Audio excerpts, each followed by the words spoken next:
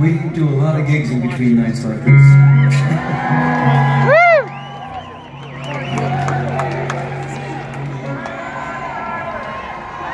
Chicago!